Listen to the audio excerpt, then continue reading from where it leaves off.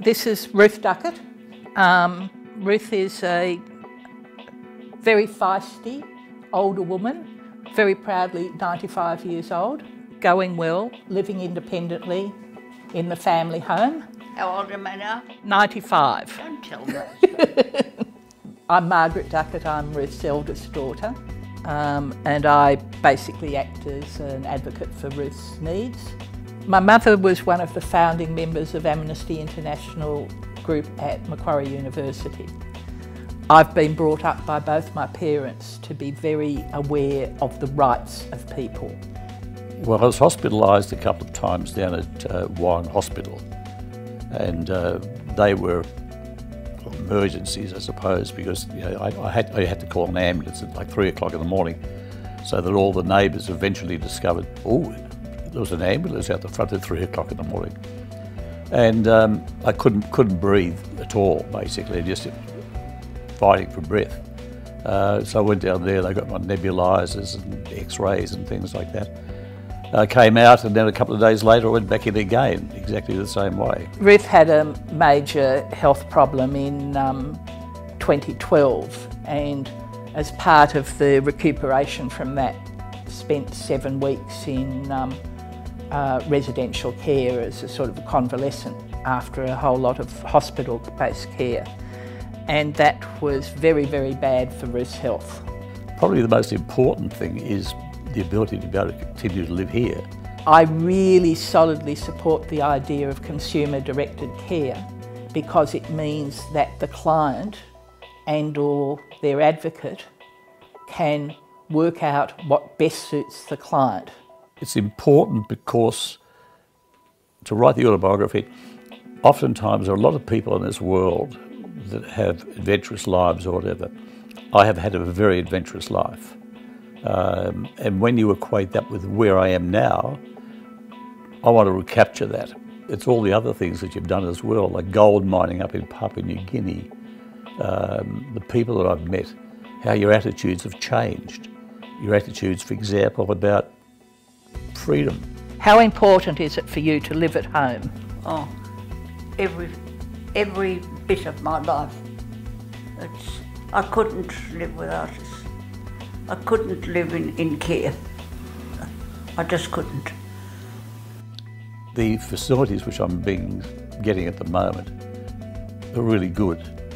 One of the big things with what I've got, which is COPD or emphysema, is that you have to have the place clean. Carpets in particular have to be clean so as to remove dust and whatever. Uh, so I have a, a, clinic that's provided by Sue Mann who comes in once a week. She was also supplied by Sue Mann.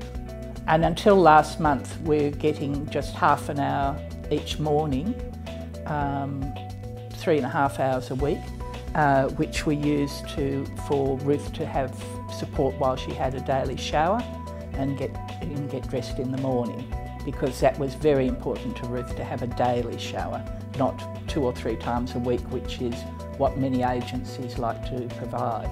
I spoke to Trish about getting a gardener in as well, and they provided that too, and that was able to get the whole backyard into shape. There's a certainty about the package as well. I know, for example, when the people are going to arrive, and that's important. Ruth has some increasing problems. And so what we're trying to do is increase the support she has. And that's why I talked about the change in, in hours and how useful it's been to have the extra hours and the extra availability of support. That's the beautiful part about it. It's not just the service that you get, but it's the type of people that you get as well. My understanding of consumer directed care is that you are given a set number of hours or it could be a set amount of money, that you can choose what your priorities are for the use of it. We just sat down and uh, she said, what do you expect from the plan? And we worked it out, we, sat, we worked it out together and um, it worked out extremely well. Well, currently I don't know what the exact budget is that's been allocated for Ruth. And I actually would like to know what the exact budget is for Ruth and then I could be very clear on what services I could purchase. It's important that I get that I know what what I am budgeted to do, uh, because it helps you keep a rough plan of that.